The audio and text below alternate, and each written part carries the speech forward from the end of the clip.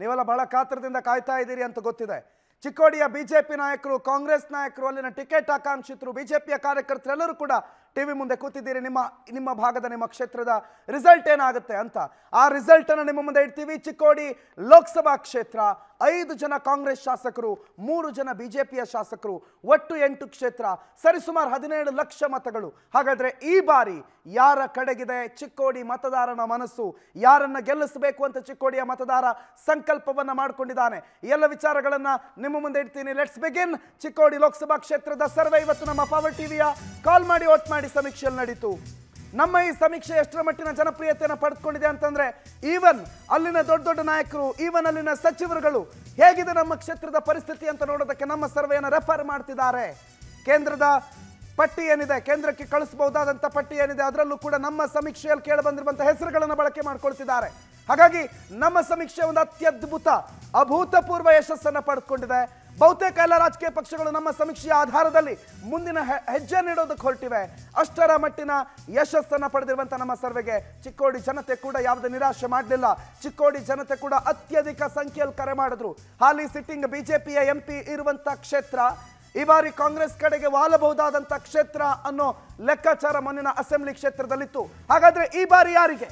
ಚಿಕ್ಕೋಡಿ ಲೋಕಸಭಾ ಕ್ಷೇತ್ರವನ್ನ ಈ ಬಾರಿ ಜಯಿಸೋದು ಯಾರು? ಅಣ್ಣ ಸಾಹೇಬ್ ಜೊಲ್ಲೆ ಕೆಲಸ ಮಾಡಿದ್ರ? ಐದು ವರ್ಷ ಕಾರ್ಯಕರ್ತರಿಗೆ ಸಿಕ್ಕ್ರ?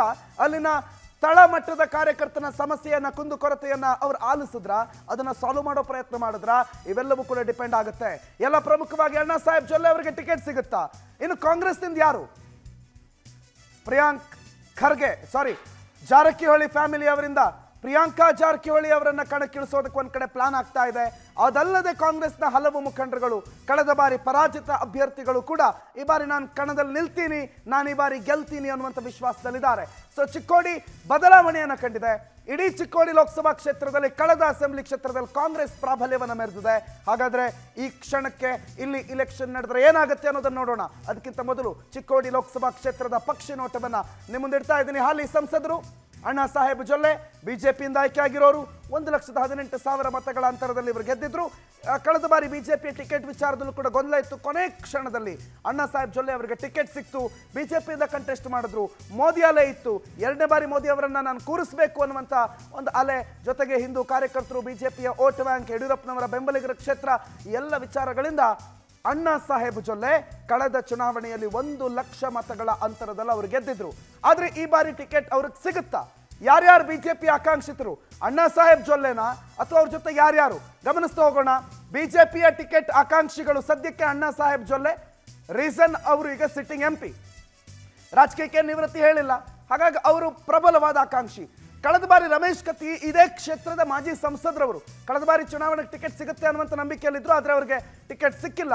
ಹಾಗಾಗಿ ಈ ಬಾರಿ ನನಗೆ ಟಿಕೆಟ್ ಸಿಗುತ್ತೆ ಅನ್ನುವಂಥ ನಂಬಿಕೆಯಲ್ಲಿ ಮತ್ತೊಂದು ಕಡೆ ರಮೇಶ್ ಕತ್ತಿ ಇದ್ದಾರೆ ಈರಣ್ಣ ಕಡಾಡಿ ರಾಜ್ಯಸಭಾ ಸದಸ್ಯರು ಅವರು ಈ ಬಾರಿ ನಾನು ಲೋಕಸಭೆಗೆ ಬರ್ತೀನಿ, ಮೇಲ್ಮನೆ ಬೇಡ, ಕೆಳಮನೆಗೆ ಬರುವಂಥ ಸಾಧ್ಯತೆ ನನಗೆ ಗೆಲ್ಲೋ ಅವಕಾಶ ಇದೆ ಅನ್ನೋ ಲೆಕ್ಕದಲ್ಲಿ ಈರಣ್ಣ ಕಡಾಡಿ ಕೂಡ ಲೆಕ್ಕಾಚಾರಗಳನ್ನು ಹಾಕೊಂಡಿದ್ದಾರೆ. ಇನ್ನೊಂದು ಕಡೆ ಅಮಿತ್ ಕೋರೆ ಅನ್ನುವ ಬಿಜೆಪಿಯ ಯುವ ಮುಖಂಡ, ಯುವ ಕಾರ್ಯಕರ್ತ ಕೂಡ ಈ ಬಾರಿ ನನಗೆ ಟಿಕೆಟ್ ಸಿಗುತ್ತೆ ಅನ್ನೋ ವಿಶ್ವಾಸ ಮತ್ತು ಸಿಗಬೇಕು ಅನ್ನೋ ಪ್ರಯತ್ನ ಎರಡು ಕೂಡ ಬಿಜೆಪಿ ವಲಯದಲ್ಲಿ ನಡೀತಾ ಇದೆ.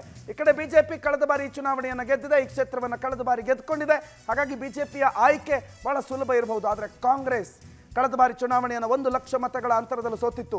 ಯಾರಿಂದ ಸೋತರು, ಯಾಕೆ ಸೋತರು ಅನ್ನುವಂಥ ಅವಲೋಕನ ಜೊತೆಗೆ ಈ ಬಾರಿಯ ಟಿಕೆಟ್ ಕೊಡಬೇಕಾಗುತ್ತೆ. ಪ್ರಕಾಶ್ ಹುಕ್ಕೇರಿ ಪ್ರಬಲವಾದಂಥ ಆಕಾಂಕ್ಷಿ. ಪ್ರಕಾಶ್ ಹುಕ್ಕೇರಿ ಅವರ ಹೆಸರು ನಿಮಗೆ ಗೊತ್ತಿದೆ. ಕಾಂಗ್ರೆಸ್ನ ಹಿರಿಯ ನಾಯಕರು, ಸೊ ಅವರು ಕೂಡ ಟಿಕೆಟ್ನ ಆಕಾಂಕ್ಷಿ. ಇನ್ನೊಂದು ಕಡೆ ಪ್ರಿಯಾಂಕಾ ಜಾರಕಿಹೊಳಿ. ಪ್ರಿಯಾಂಕಾ ಜಾರಕಿಹೊಳಿ, ಸತೀಶ್ ಜಾರಕಿಹೊಳಿ ಅವರ ಪುತ್ರಿ. ಆದರೆ ಸತೀಶ್ ಜಾರಕಿಹೊಳಿ ಅವರು ಹೇಳಿದ್ದಾರೆ, ನಾವು ಎಟ್ ಎನಿ ಕಾಸ್ಟ್ ನಮ್ಮ ಕುಟುಂಬದಲ್ಲಿ ಟಿಕೆಟ್ ಪಡೆಯಲ್ಲ, ನಮ್ಮ ಕುಟುಂಬಕ್ಕೆ ಈ ಬಾರಿ ಟಿಕೆಟ್ ಇಲ್ಲ ಅಂತ ಹೇಳಿದ್ದಾರೆ. ಸಾಮಾನ್ಯ ಕಾರ್ಯಕರ್ತನಿಗೆ ಕೊಡ್ತೀನಿ ಅಂತ ಹೇಳಿದ್ದಾರೆ. ಈ ಸಾಮಾನ್ಯ ಕಾರ್ಯಕರ್ತ ಅನ್ನುವ ಹೆಸರು ಅನ್ನುವಂಥ ಶಬ್ದ ಅಲ್ಲಿನ ಕಾಂಗ್ರೆಸ್ನ ಘಟಾನುಘಟಿ ನಾಯಕರಿಗೂ ಕೂಡ ಸ್ವಲ್ಪ ಭಯ ಹುಟ್ಟಿಸಿದೆ. ಯಾಕಂದ್ರೆ ಕಳೆದ ಬಾರಿ ಹೆಂಗೂ ಸೋತಿದ್ದಾರೆ. ಒಂದು ಲಕ್ಷ ಮತಗಳ ಅಂತರದಿಂದ ಸೋತಿದ್ದಾರೆ. ಈ ಬಾರಿ ಹೊಸ ಮುಖಕ್ಕೆ ಅವಕಾಶ ಕೊಟ್ಟರೆ ಹೆಂಗೆ ಅನ್ನುವಂಥ ಒಂದು ಎಕ್ಸ್ಪೆರಿಮೆಂಟ್ಗೆ ಕಾಂಗ್ರೆಸ್ ಹೋದ್ರೆ ಆಶ್ಚರ್ಯ ಇಲ್ಲ ಅಂತ ಅನಿಸುತ್ತೆ. ಇನ್ನು ಈ ಚಿಕ್ಕೋಡಿ ಲೋಕಸಭಾ ಕ್ಷೇತ್ರದಲ್ಲಿ ಬರೋದು ಎಂಟು ಅಸೆಂಬ್ಲಿ ಕ್ಷೇತ್ರಗಳು.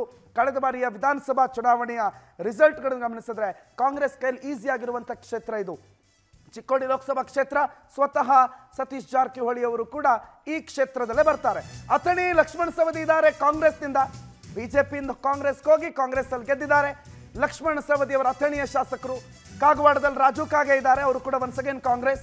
ಚಿಕ್ಕೋಡಿಯಿಂದ Ganesh Hukkeri once again Congress. ಕುಡುಚಿಯಿಂದ Mahendra ತಮ್ಮಣ್ಣನವರು ಒನ್ಸ್ ಅಗೇನ್ ಕಾಂಗ್ರೆಸ್. ಸೊ ನಾಲ್ಕು ಕಾಂಗ್ರೆಸ್ ಅಲ್ಲೇ ಆಯಿತು. ಐದನೇದಾಗಿ ಯಮಕನ ಮರಡಿಯಲ್ಲಿ ಸತೀಶ್ ಜಾರಕಿಹೊಳಿ ಅವರಿದ್ದಾರೆ. ಅವರ ಯಮಕನ ಮರಡಿ ಕ್ಷೇತ್ರ ಕೂಡ ಚಿಕ್ಕೋಡಿ ಲೋಕಸಭಾ ಕ್ಷೇತ್ರದ ವ್ಯಾಪ್ತಿಗೆ ಬರುತ್ತೆ. ಕಾಂಗ್ರೆಸ್ ರಾಯಭಾಗದಲ್ಲಿ ದುರ್ಯೋಧನ ಐಹೊಳೆ ಇದ್ದಾರೆ. ಅವರು ಬಿಜೆಪಿಯ ಸದಸ್ಯರು. ಇನ್ನು ಹುಕ್ಕೇರಿ ನಿಖಿಲ್ ಕತ್ತಿ ನಿಪ್ಪಾಣಿಯಲ್ಲಿ ಶಶಿಕಲಾ ಜೊಲ್ಲೆ ಮಾಜಿ ಸಚಿವರು. ಸೊ ಒಟ್ಟಾರೆ ಮೂರು ಬಿಜೆಪಿ ಒಂದು ಐದು ಕಾಂಗ್ರೆಸ್ ಕೈಯಲ್ಲಿರುವಂತಹ ಕ್ಷೇತ್ರ. ಸಾಮಾನ್ಯವಾಗಿ ನಿಮ್ಗೆ ಕಳೆದ ವಿಧಾನಸಭೆ ಕ್ಷೇತ್ರದ, ವಿಧಾನಸಭಾ ಚುನಾವಣೆಯ ರಿಸಲ್ಟ್ ನಿಮಗೆ ಹೇಳುತ್ತೆ, ಇಲ್ಲಿನ ಸದ್ಯದ ಟ್ರೆಂಡ್ ಏನಿರಬಹುದು ಅಂತ. ಯಾಕಂದ್ರೆ ಮೊನ್ನೆ ಮೊನ್ನೆ ನಡೆದಂಥ ಚುನಾವಣೆ, ಒಂಬತ್ತು ತಿಂಗಳ ಹಿಂದೆ ನಡೆದಂಥ ಚುನಾವಣೆ. ಅಲ್ಲಿ ಎಂಟು ಲೋಕಸಭಾ ಕ್ಷೇತ್ರಗಳ ಪೈಕಿ ಐದಕ್ಕೆ ಕಾಂಗ್ರೆಸ್ ಅನ್ನು ಕಳಿಸಿರುವಂತಹ ಮತದಾರರು ಈ ಬಾರಿಯೂ ಅದೇ ಲೆಕ್ಕಾಚಾರದಲ್ಲಿದ್ದಾರಾ?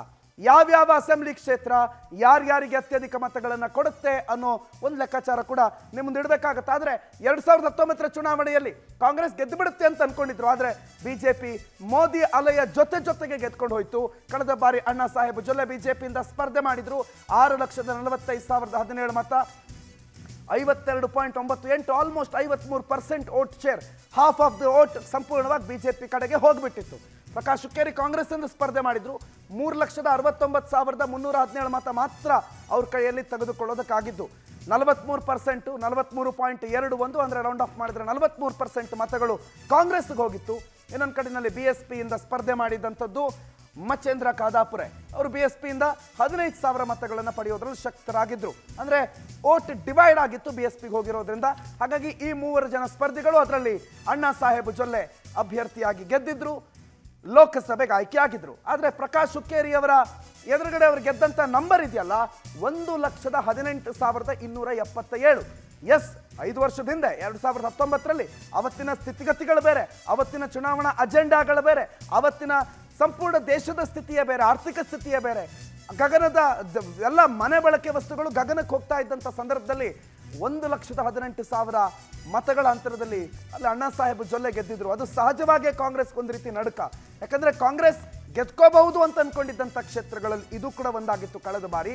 ಆದರೆ ಬಿಜೆಪಿ ಕೈಯಲ್ಲಿ ಹೋಗಿತ್ತು.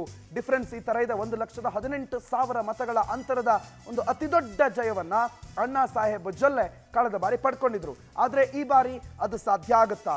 ಇಲ್ಲಿನ ಟೋಟಲ್ ಓಟ್ ಶೇರ್ ಟೋಟಲ್ ಮತದಾರರ ವಿವರಗಳೇನು ಅನ್ನೋದನ್ನ ಗಮನಿಸ್ಬಿಡೋಣ. ಮತದಾರ ವಿವರ ಟೋಟಲ್ ಹದಿನೇಳು ಲಕ್ಷದ ಮೂವತ್ತೆರಡು ಸಾವಿರದ ಇನ್ನೂರ ಎಂಬತ್ತಾರು. ಇಲ್ಲಿನ ಟೋಟಲ್ ನಂಬರ್ ಆಫ್ ವೋಟರ್ಸ್ ಈ ಕ್ಷೇತ್ರದ ಒಟ್ಟು ಮತದಾರರ ಸಂಖ್ಯೆ. ಅದರಲ್ಲಿ ಪ್ರತಿ ಬಾರಿಯೂ ಕೂಡ ಸುಮಾರು ಎಪ್ಪತ್ತೈದು ಪರ್ಸೆಂಟ್ ಓಟ್ ಪೋಲ್ ಆಗುತ್ತೆ. ಅದರಲ್ಲಿ ಎಂಟು ಲಕ್ಷದ ಎಪ್ಪತ್ತಾರು ಸಾವಿರದ ಒಂಬೈನೂರ ಎಂಬತ್ಮೂರು ಪುರುಷರಿದ್ದಾರೆ. ಎಂಟು ಲಕ್ಷದ ಐವತ್ತೈದು ಸಾವಿರದ ಇನ್ನೂರ ತೊಂಬತ್ತ ಎರಡು ಮಹಿಳಾ ಮತದಾರರಿದ್ದಾರೆ ಈ ಕ್ಷೇತ್ರದಲ್ಲಿ. ಇನ್ನು ಇವತ್ತಾನೇ ಸರ್ಕಾರ ಜಾತಿ ಸಮೀಕರಣದ ವಿಚಾರದಲ್ಲಿ ಮಾತನಾಡಿದೆ. ಜಾತಿ ಸಮೀಕರಣ ಜಾತಿ ಜನಗಣತಿಯ ವರದಿಯನ್ನು ಒಪ್ಪಿಕೊಂಡಿದೆ. ಹಾಗಾದ್ರೆ ಚಿಕ್ಕೋಡಿಯ ಜಾತಿ ಲೆಕ್ಕಾಚಾರ ಏನು? ಇಲ್ಲಿ ಯಾವ ಜಾತಿ ಪ್ರಬಲರು, ಯಾವ ಜಾತಿ ಬಹಳ ಕಡಿಮೆ ಸಂಖ್ಯೆಯಲ್ಲಿದ್ದಾರೆ? ಯಾರನ್ನ ಅಭ್ಯರ್ಥಿ ಮಾಡಿದ್ರೆ ಇಲ್ಲಿ ಗೆಲ್ಲುವ ಸಾಧ್ಯತೆ ಇದೆ? ಜಾತಿವಾರ ಲೆಕ್ಕಾಚಾರದಲ್ಲಿ ನೋಡೋಣ. ಲಿಂಗಾಯತರು ನಾಲ್ಕು ಲಕ್ಷದ ಹತ್ತು ಸಾವಿರ ಪ್ರಬಲ ಸಂಖ್ಯೆಯಲ್ಲಿದ್ದಾರೆ. ಕುರುಬರು ಒಂದು ಲಕ್ಷದ ಎಪ್ಪತ್ತು ಸಾವಿರ ಸಂಖ್ಯೆಯಲ್ಲಿದ್ದಾರೆ. ಎಸ್ ಸಿ ಒಂದು ಲಕ್ಷದ ಅರವತ್ತೈದು ಎಸ್ ಟಿ ತೊಂಬತ್ತು ಸಾವಿರ, ಮುಸ್ಲಿಂ ಒಂದು ಲಕ್ಷದ ಎಂಬತ್ತು ಸಾವಿರ ಇದ್ದಾರೆ. ಮುಸ್ಲಿಂ ಮತದಾರರು, ಜೈನ ಮತದಾರರು ಒಂದು ಲಕ್ಷದ ಮೂವತ್ತು ಸಾವಿರ ಇದ್ದಾರೆ. ಮರಾಠ ಮತದಾರರು ಒಂದು ಲಕ್ಷದ ಎಪ್ಪತ್ತು ಸಾವಿರ ಇದ್ದಾರೆ. ಇನ್ನು ಇತರ ಎರಡು ಲಕ್ಷದ ಐವತ್ತೈದು ಸಾವಿರ ಮತಗಳಿದೆ. ಚಿಕ್ಕೋಡಿ ಹೇಳಿ ಕೇಳಿ, ಗಡಿ ಭಾಗಕ್ಕೆ ಹೊಂದ್ಕೊಂಡಿರುವಂತಹ ಪ್ರದೇಶ. ಹಾಗಾಗಿ ಮರಾಠ ಮತಗಳು ಕೂಡ ಬಹಳ ಗಣನೀಯ ಮಟ್ಟದಲ್ಲಿದೆ. ಅಲ್ಲಿ ಮರಾಠ ಅಭಿವೃದ್ಧಿ ಅಥವಾ ಮರಾಠ ಸಮುದಾಯದ ಜೊತೆಗೆ ಒಂದೊಳ್ಳೆ ಸಂಪರ್ಕ ಇರುವಂತಹ ಅಥವಾ ಒಂದೊಳ್ಳೆ ಕಮ್ಯುನಿಕೇಷನ್ ಇರುವಂಥ ನಾಯಕರಿದ್ದರೆ ಇಲ್ಲಿ ಮರಾಠ ಮತಗಳು ಹೋಲ್ ಆ್ಯಂಡ್ ಸೋಲ್ ಆಗಿ ಅವ್ರಿಗೆ ಬೀಳುತ್ತೆ. ಬಿಜೆಪಿ, ಕಾಂಗ್ರೆಸ್ ಎನಿಥಿಂಗ್ ಯಾವ ಪಾರ್ಟಿ ಕೂಡ ಇರ್ಬೋದು. ಯಾಕಂದ್ರೆ ಹಿಂದೊಂದು ಕಾಲದಲ್ಲಿ ಕಾಂಗ್ರೆಸ್ನ ಭದ್ರಕೋಟೆ ಆಗಿದ್ದಂಥ ಕ್ಷೇತ್ರ ಇದು. ಆವತ್ತಿನ ದಿನಮಾನದಲ್ಲಿ ಪಕ್ಷಕ್ಕೆ ಓಟ್ ಹಾಕ್ತಾ ಇದ್ರು ಅಲ್ಲಿನ ಜನ. ಸಂಪೂರ್ಣವಾಗಿ ಪಕ್ಷ ಕಾಂಗ್ರೆಸ್ ಅಂದರೆ ಕಾಂಗ್ರೆಸ್ಸು. ಅಲ್ಲಿ ಯಾರೇ ನಿಂತರೂ ತೊಂದರೆ ಇಲ್ಲ, ಕಾಂಗ್ರೆಸ್ಗೆ ಓಟ್ ಹಾಕ್ತೀವಿ ಅನ್ನುವಂಥ ಪರಿಸ್ಥಿತಿ ಇತ್ತು. ಆದರೆ one by one one by one one by one B BJP ಇಲ್ಲನ್ನು ಕಬ್ಜಾ ಮಾಡ್ಕೊಂಡು ಬಂತು. ಹಾಗಾಗಿ ಬಿ ಜೆ ಪಿ ಹಲವು ಪ್ಲಸ್ ಪಾಯಿಂಟ್ಗಳನ್ನು ಈ ಕ್ಷೇತ್ರದಲ್ಲಿ ಹೊಂದಿದೆ. ಹಾಗಾದರೆ ಬಿ ಜೆ ಪಿಯ ಪ್ಲಸ್ ಏನು? ಈ ಚುನಾವಣೆಗೆ ಬಿ ಜೆ ಪಿಗೆ ಸಹಕಾರಿಯಾಗಬಲ್ಲಂಥ ಅಂಶಗಳು ಏನೇನು ಅನ್ನೋದನ್ನು ನೋಡೋಣ. ಪ್ರಧಾನಿ ಮೋದಿ ಅಲೆ ರಾಮ ಮಂದಿರ ಹಿಂದುತ್ವದ ಮತಬ್ಯಾಂಕ್ ಗಟ್ಟಿಯಾಗಿದೆ. ಹೇಳಿ ಕೇಳಿ ಹಿಂದೂ ಹಿಂದೂ ಕಾರ್ಯಕರ್ತರ ಸಂಖ್ಯೆ ಬಹಳಷ್ಟಿದೆ. ಸಾವಿರ ಸಾವಿರ ಸಂಖ್ಯೆಯಲ್ಲಿ ಹಿಂದೂ ಕಾರ್ಯಕರ್ತರು. ಅದಲ್ಲದೆ ಗಡಿಭಾಗ ಆಗಿರೋದ್ರಿಂದ ಕೇಂದ್ರದ ಹೆದ್ದಾರಿ ಯೋಜನೆಗಳು ಅಲ್ಲಿನ ಜನರಿಗೆ ಉಪಯೋಗ ಆಗಿದೆ. ದೊಡ್ಡ ದೊಡ್ಡ ರಸ್ತೆಗಳಾಗಿದೆ. ಅದ್ರ ಜೊತೆಗೆ ಜೊಲ್ಲೆ ಫ್ಯಾಮಿಲಿ, ಈ ಜೊಲ್ಲೆ ಫ್ಯಾಮಿಲಿಯಲ್ಲಿ ಗೆದ್ದಿದೆ. ಕತ್ತಿ ಫ್ಯಾಮಿಲಿಯಲ್ಲಿ ಗೆದ್ದಿದೆ.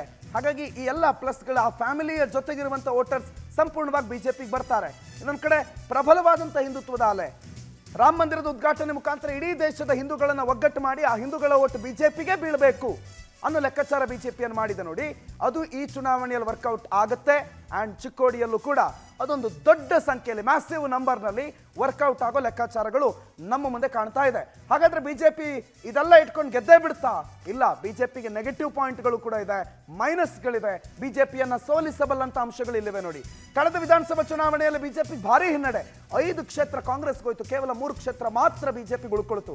ಸಂಸದ ಅಣ್ಣಾ ಸಾಹೇಬ್ ಜೊಲ್ಲೆ ಅವರಿಗೆ ಈ ಬಾರಿ ಟಿಕೆಟ್ ಕೊಡ್ತೀವಿ ಅಂತಂದ್ರೆ ಅವರದ್ದೇ ಪಕ್ಷದ ನಾಯಕರುಗಳು ಬೇಡ ಅನ್ನೋರಿದ್ದಾರೆ. ನಾವು ಕೆಲಸ ಮಾಡಲ್ಲ ಅನ್ನೋರಿದ್ದಾರೆ. ಹಾಗಾಗಿ ಒಂದು ಸಣ್ಣ ಅಸಮಾಧಾನ, ಗುಂಪುಗಾರಿಕೆ, ಅವ್ರದ್ದೇ ಅವ್ರದ್ದಾದಂಥ ಬಣ, ಒಬ್ರಿಗೆ ಟಿಕೆಟ್ ಕೊಟ್ಟರೆ ಇನ್ನೊಬ್ರು ಬೇಸರ ಮಾಡ್ಕೊಳ್ಳೋದು, ಒಬ್ರಿಗೆ ಟಿಕೆಟ್ ಕೊಟ್ಟರೆ ಇನ್ನೊಬ್ರು ಅವರ ವಿರುದ್ಧ ಕೆಲಸ ಮಾಡೋದು, ಈ ಎಲ್ಲ ವಿಚಾರಗಳು ಕೂಡ ಬಿ ಜೆ ಪಿಗೆ ಇಲ್ಲಿ ಬ್ಯಾಕ್ ಫೈರ್ ಆಗುತ್ತೆ.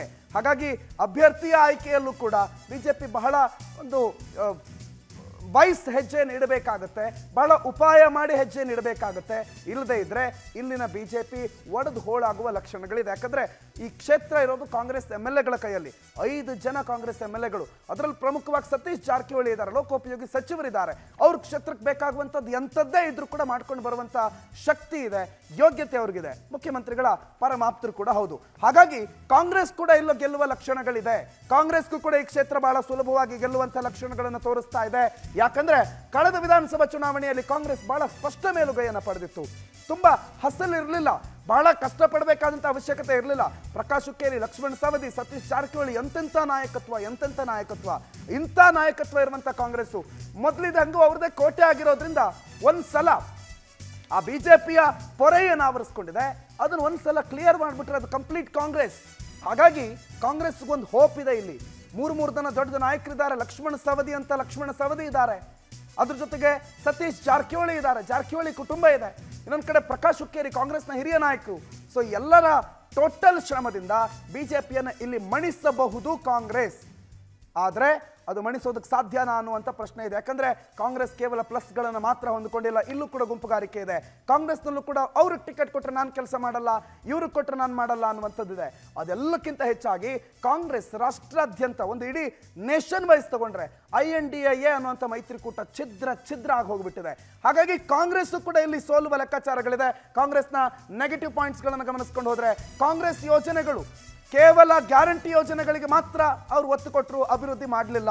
ಪ್ರಧಾನಿ ಮೋದಿಯವರ ಅಲೆ ಮತ್ತು ಆ ಹಿಂದುತ್ವದ ಅಲೆಯ ನಡುವೆ ಇಲ್ಲಿ ಗೆಲ್ಲೋದಕ್ಕೆ ಬಹಳ ಕಷ್ಟ ಆಗುತ್ತೆ.